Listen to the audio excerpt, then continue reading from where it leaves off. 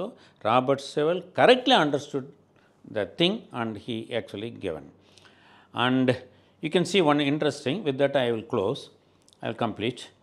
Uh, there is a famous Shiva temple near Grand Anicut. Grand Anicut is a uh, dam constructed by Karikal Peruvalata, a famous Sola emperor, some more than 2000 or uh, even we can say 3000, 4000 years.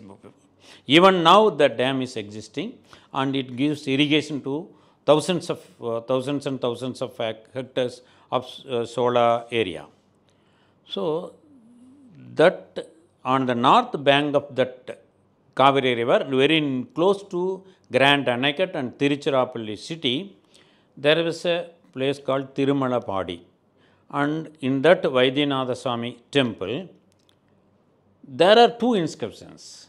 One is by Rajaraja Sola, another is by Rajendra Sola, who ruled Sola kingdom some 900 to 1000 years before.